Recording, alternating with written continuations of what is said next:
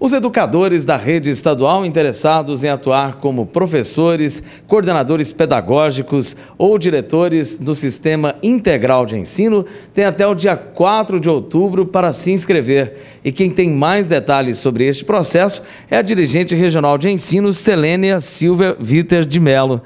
Dirigente, eu queria saber o seguinte: quais são os professores que podem se inscrever, quais são os requisitos e como ele pode fazer essa inscrição? A inscrição ela é online. A pessoa tem que acessar o site www.educacau.sp.gov.br.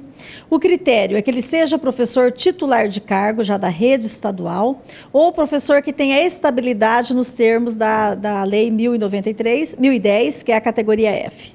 E tem quantas escolas aqui na região que o professor poderá se inscrever?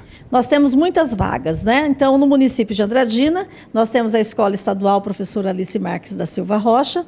Em Pereira Barreto, nós temos a Escola Estadual Francisco Schmidt.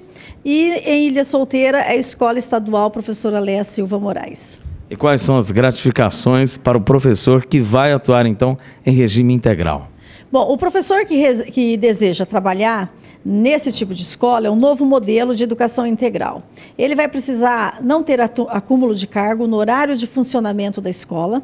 Então, a escola do ensino fundamental ela vai funcionar 8 horas e meia. A do ensino médio, 9 horas e meia. Então, durante esse horário, ele não pode ter acúmulo. Tá? Ele tem que ter disponibilidade. Por isso, ele vai fazer uma adesão ao programa e ele vai fazer uma adesão ao regime de dedicação plena e integral, com uma gratificação de 75% a mais no seu salário.